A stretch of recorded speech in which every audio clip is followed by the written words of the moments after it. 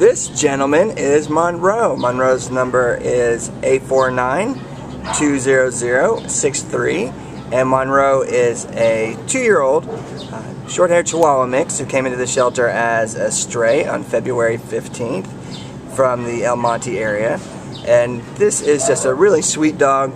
He's uh, cute, he's affectionate, um, he's got a, let's see if I can get in here, he's got a really uh, awesome little underbite, so he's got a beautiful smile. Um, just, oh, he's getting tired of this already.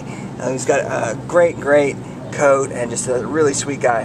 He works, uh, walks well on a leash, and um, he actually warms up more and more the more often he's out.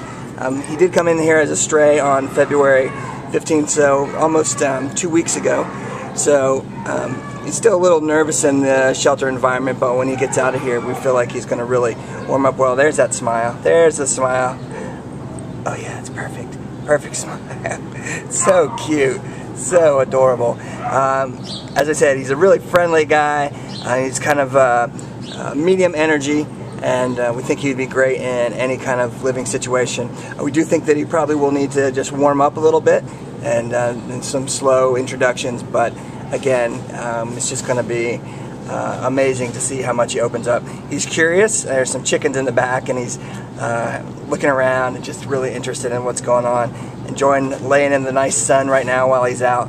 So we would love for you to meet him. So please come down to the Baldwin Park Shelter and meet this awesome guy Monroe today. Right? Good boy. What a good boy.